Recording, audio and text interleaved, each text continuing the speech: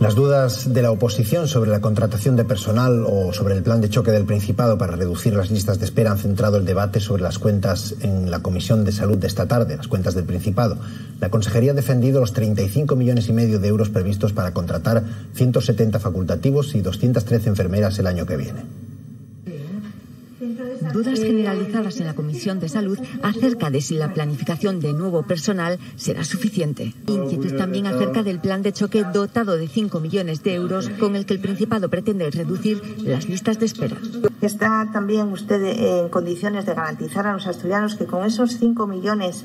que destinarán a los programas especiales de plan de choque para paliar estas listas de espera, estos tendrán solución?